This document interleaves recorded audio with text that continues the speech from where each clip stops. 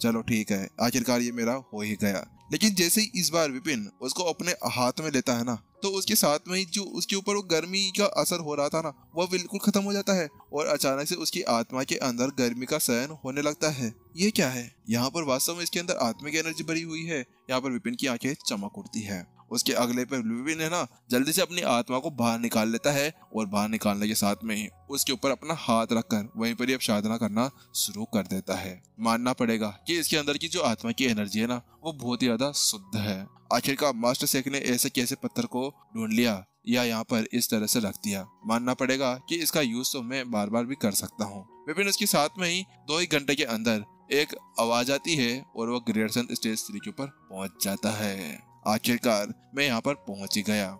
लेकिन अब विपिन के दिमाग के अंदर एक सवाल जवाब आ रहा था। क्योंकि यहाँ पर ग्रेट सन के ऊपर पहुँचने के बाद में ना, कोई भी एक लड़ाकू यहाँ पर अपने आसपास आने वाली चीज़ों के बारे में पता लगा सकता है या फिर उनके ऊपर कोई वार होता है ना तो उसके बारे में भी। यानी कि आगे आने वाले खतरे के बारे में उन्हें पहले पता चल जाया करता था और स्वर्ग के बारे में भी। क्या मैं वास्तव में इसके साथ में ऐसा यूज़ कर सकता हूँ? क्योंकि यहाँ पर शरीर और आत्मा दोनों एक ही चीज़ें हैं। क्या ऐसा होगा कि जब मैं यहाँ पर स्वर्ग के बारे में पता लगाने और उसके रहस्यों के बारे में पता लगाने की कोशिश करूँगा, तब क्या मेरे को बिजली का झटका लग सकता है? विपिन इसके बारे में सोचने लगता है, क्योंकि आखिरकार यहाँ पर अगर दूसरे बंदे इसका यूज़ करते हैं ना तो उनके ऊपर न लगने का एकमात्र कारण जो है, वह है स्वर्ग की लाइब्रेरी लेकिन विपिन के पास में स्वर्ग की लाइब्रेरी थी तो विपिन सोचता है, क्या मुझे एक बार ट्राई कर देखना चाहिए? क्या ये मेरी आत्मा के ऊपर फ़र्क डालेगा या नहीं डालेगा? विपिन ऐसा करता है और अगले पल विपिन फिर से अपनी आत्मा को अपने शरीर के अंदर डाल देता है। और फिर से वह अब स्वर्ग के बारे में पता लगाने की कोशिश करने लगता है, अपनी आँखें बंद कर कर। अरे बड़ा नालायक है भाई तू। तेरे को पता है कि तेरे पास में क्या है, क्या नहीं है, लेकिन उसके साथ में, जैसा हमने सोचा था, वैसा उसके साथ में हो जाता है। चटाक! अगले पल यहाँ पर एक बिजली का जोरदार बोल्ट, जो यहाँ पर नॉर्मल बिजली से बहुत ज़्यादा खतरनाक था, उसके साथ में विपिन को पूरी तरह से वो झुलसा कर रख देता है। विपिन का चेहरा अब भिखारी से भी बहुत ज़्यादा खतरनाक हो चुका था। काला कसूटा वास्तव में अभी उसके कपड़े फट चुके थे। अरे मैं, मैं, मैंने जैसा सोचा था ना वैसा ही है। वास्तव में मैं यहाँ पर इसकी पावर का कोई भी यूज़ नहीं कर सकता हूँ। अगर मैंने यूज़ किया ना तो उसके बाद में विपिन को यहीं पर कंगला बना दिया जाएगा। और तू फटे वस्त्र पहनकर इधर उधर भटकता फिरेगा। और तू पागल भी हो सकता है अगर बार बार बिजली के झटके खाए तो है कैसे ये संकट है? आखिरकार स्वर्ग की लाइब्रेरी मेरे साथ में ऐसा क्यों कर रही है? यहाँ पर मैं कौन सा सा गलत यूज़ करने के लिए जा रहा हूँ? मैं नॉर्मल बातों का तो पता लगा सकता हूँ, लेकिन अब क्या करें? अगर स्वर्ग की लाइब्रेरी नहीं मान रही है तो इसको साइड में रख दिया जाए। विपिन इतना सोचता है और उसके बाद में अब उसको साइड में रख देता है। अब वो उसका यूज़ कभी भी कर नहीं सकता था। अब वहाँ पर केवल वह उस आत्मा की एनर्जी का यूज़ कर सकता था, जिसके साथ में वो अपनी पावर को आगे बढ़ा सकता था। उसके बाद में जो विपिन है ना, अब जल्दी से उस स्टोन को अपने स्टोरेज रिंग के अंदर रखने वाला था कि अचानक से एक आवाज़ सुनाई देती है, मास्टर मास्टर, अरे अरे, उसको अंदर मत रखो, वो मेरे बहुत ज़्यादा काम का है, क्या आप मेरे को वह दिव्य पत्थर दे सकते हैं? अचानक से वो आवाज़ विपिन के दिमाग के अंदर गूंजने लगती है और विपिन इधर उधर देखने लगता है और अचानक से उसका दिमाग फट पड़ता है। क्या? भयानक तुम? तुम उठ गए हो क्या? तुम तो यहाँ पर बड़ी गहरी नींद के अंदर सो रहे थे। आखिरकार तुम अचानक से कैसे उठ सकते हो? क्योंकि विपिन को अभी जो आवाज़ सुनाई दी थी ना, वह किसी और की नहीं थी, वह भयानक थी थी। तो वहीं दूसरी तरफ़ यहाँ पर भयानक कहता है हाँ मास्टर, बात कुछ ऐसी कि यहाँ पर जो ये दिव्य पत्थर आपके पास में है ना, इसके अंदर से एक बहुत ज़्यादा अच्छी एनर्जी निकल रही है। तो उसको महसूस करते हुए यहाँ पर मेरी आँख खुल गई। मेरे को लगा कि यहाँ पर अगर ये अंदर रख दिया गया तो उसके बाद में आप मेरे को वह पत्थर ना दें। और इस वक्त यहाँ पर क्या हुआ कि मैंने जो अपना ऊपर का हिस्सा अपने अंदर एब्जॉर्ब किया है और मिलाया है ना तो उसके बाद में यहाँ पर मैं बहुत ज़्यादा बुरी तरह थक चुका हूँ और मुझे अभी अब यहाँ पर इस पत्थर की ज़रूरत पड़ने वाली है ताकि मैं अपने आप को जल्द से जल्द टेक कर सकूँ। वहीं दूसरी तरफ़ विपिन सोच के अंदर पड़ जाता है और वो उससे कहता है आ, अरे यार मैं तुम्हें दे तो देता लेकिन बात कुछ ऐसी है कि मैंने अभी अभी ना इसका यूज़ किया है और यहाँ पर इसके अंदर की जो एनर्जी है ना वो खत्म हो चुकी है। यहाँ पर विपिन ने उसको बताया क्या खत्म हो चुकी है? क्या मास्टर आप भी क्या बातें कर रहे हैं बेतु किसी? अगर यहाँ पर वास्तव में इसके अंदर की एनर्जी खत्म हो जाए ना एक ही बार यूज़ करने के बाद में तो क्या मास्टर शेख इस चीज़ को यहाँ पर रख सकते थे? यहाँ पर वो उसको बताता है। हाँ तुमने ये बात तो सही कही है। तो क्या इसको चार्ज भी किया जा सकता है? यहाँ पर विपिन ने उससे पूछा। तो यहाँ पर भयानक ने बताया हाँ मास्टर, हम इसको चार्ज भी कर सकते हैं। एक काम करिए, आप मेरे को बाहर निकालिए और मुझे एक बार वो पत्थर दे दीजिए। तो विपिन भी बिना कुछ सोचे समझे, जल्दी से अपनी स्वर्ग की गोल्डन बुक को बाहर निकाल लेता है। और उसके अंदर से भयानक के ऊपर उस पत्थर को रख सकता है। उसके बाद में यहाँ पर जो पत्थर था ना, वो उड़ने लगता है और उन सभी राक्षसों की बॉडी के ऊपर चला जाता है, जो जो अभी अभी विपिन ने वहाँ पर ठिकाने लगाई थी।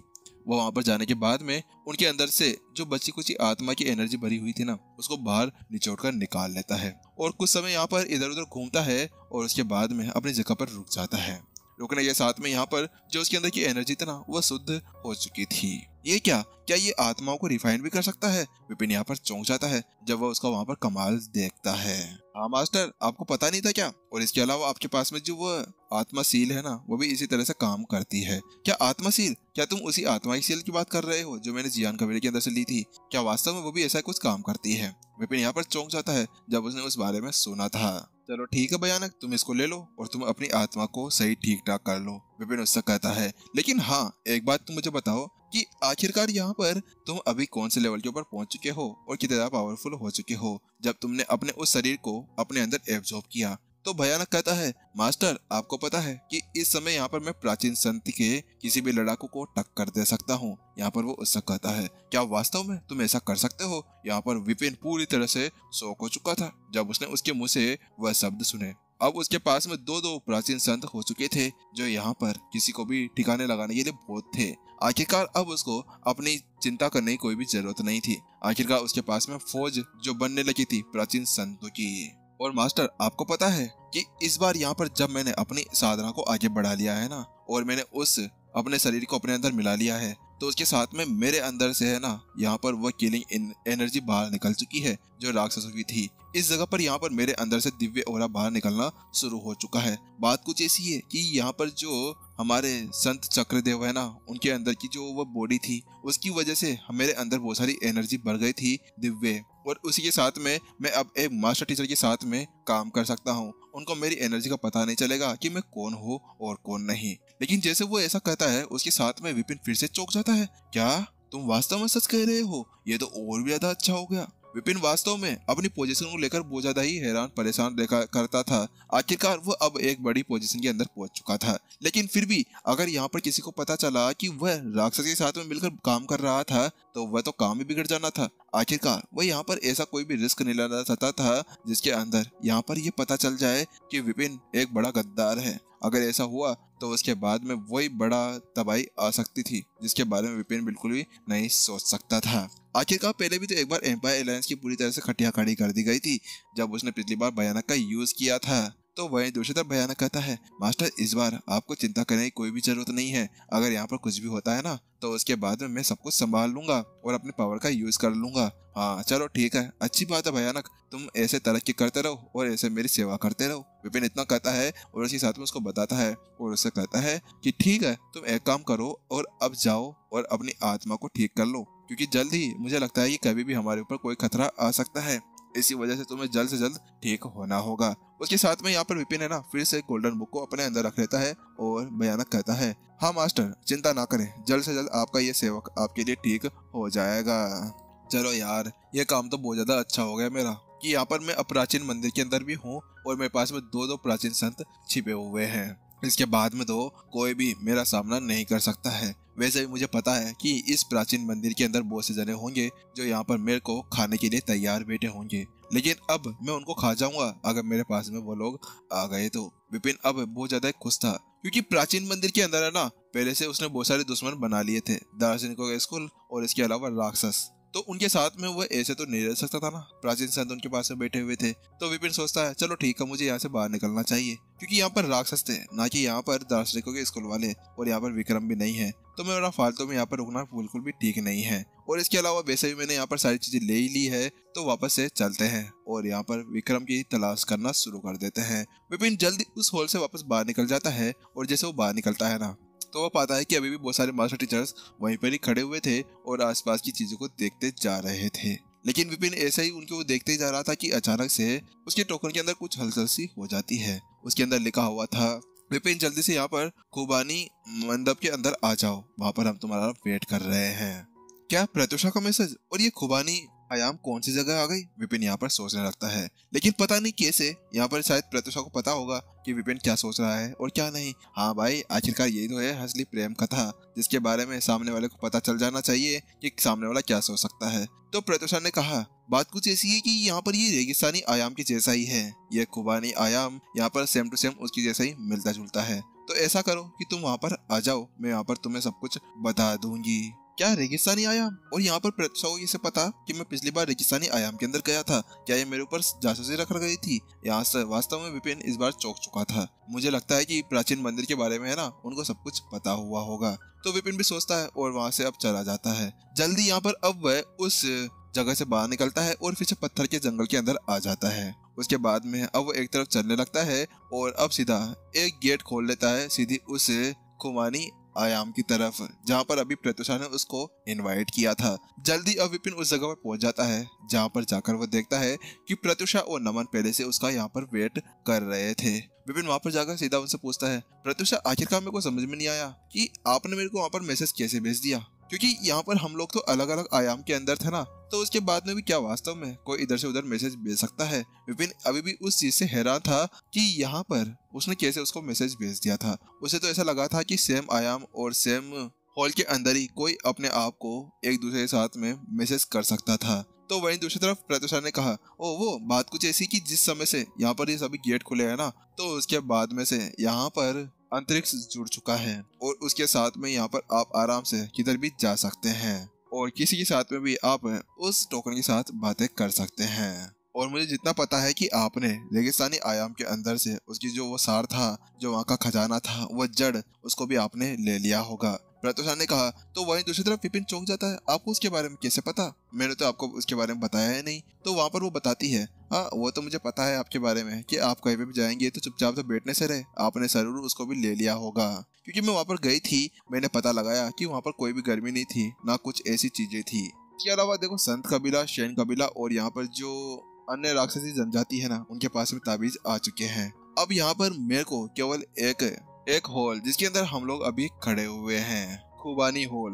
अब हमें इसके अंदर ही विक्रम मिल सकता है, क्योंकि यहाँ पर खुबानी हॉल के अंदर ना कुछ ऐसी चीज़ें हैं जो यहाँ पर विक्रम की बॉडी के साथ में मिलते जुलते हैं। और अब जो भी है, जो दार्शनिक वाले हैं वह यहाँ पर उसका पकड़ कर उसी का यूज़ कर कर यहाँ पर उस आयाम को भी खोलना चाहते हैं और उस होल के अंदर घुसना चाहते हैं। चलिए जल्दी से चलते हैं, हम लोग वहाँ पर पहुँचना होगा, जिससे पहले कि वो अंदर ना घुस जाए। तो वही दूसरी तरफ़ यहाँ पर अब जल्दी से नमन को कहती है। नमन आगे बढ़ता है और एक टेप के साथ में ही वहाँ पर एक दरार को फाड़ देता है। लेकिन जैसे यहाँ पर वो ऐसा करता है, ये क्या? यहाँ पर नमन ने ऐसा कैसे कर दिया? केवल एक ही अंगुली के साथ में यहाँ पर एक और नया दरवाज़ा खोल दिया गया। वास्तव में इसके लिए तो किसी प्राचीन संत की ज़रूरत पड़ने वाली थी ना? तो आखिरकार इसने ऐसा कैसे कर दिया? विपिन यहाँ पर चौंक चुका था, क्योंकि वही जानता था कि यहाँ पर अगर एक से दूसरी जगह जाना है ना तो एक प्राचीन संत की ज़रूरत पड़ने वाली थी। वह यहाँ पर अब प्रत्युषा से पूछने वाला था कि यहाँ पर आखिरकार ये चल क्या रहा है। तो वही प्रत्युषा भी यहाँ पर उसको जवाब देना चाह रही थी। लेकिन वो जानती थी कि उसके बारे में वो सामने बाद में बता देगी।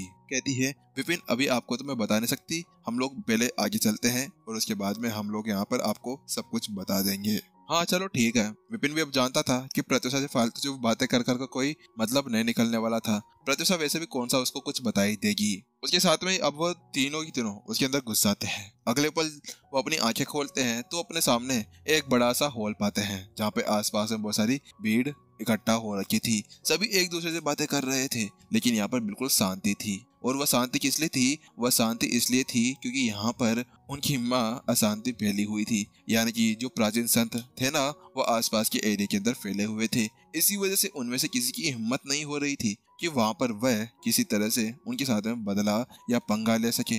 आखिरकार एक ही उंगली और इसी साथ में यहाँ पर बहुत ज़्यादा खतरनाक लड़ाई छिड़ सकती थी। और प्राचीन संतों की जान जा सकती थी। ऐसा कोई भी कुछ नहीं कर सकता था। इसी वजह से मैंने भी सोचा कि यहाँ पर विपिन को आगे के नक्शे के बारे में सोचने दो, ताकि हम लोग भी थोड़ा बहुत स्क्रिप्ट वगैरह बना ले। क्योंकि स्क्रिप्ट आज खत्म हो चुकी है और रात को थोड़ी बहुत प्रॉब्लम थी, इसी वजह से एपिसोड आए नहीं थे। चलिए, अब जल्दी हम मिलते हैं नेक्स्ट एपिसोड के अंदर। स्क्रिप्ट में रेडी कर लेता हूँ। देखते जब तक रिकॉर्ड होती है, कब तक नहीं होती है, मैं आपको बता दूँगा, ठीक है? बाय बाय टाटा, मिलते हैं जल्द ही नेक्स्ट एपिसोड के अंदर। और ये दो ही एपिसोड में डाल रहा हूँ क्योंकि मेरे को तीन एपिसोड बनाने में थोड़ा टाइम लग जाता है, इसी वजह से मैंने इसका तीन, दो ही बना दिया है, ठीक है? मैं इसका तीन भी कर देता, लेकिन तीन करने में थोड़ा सा अभी टाइम नहीं है।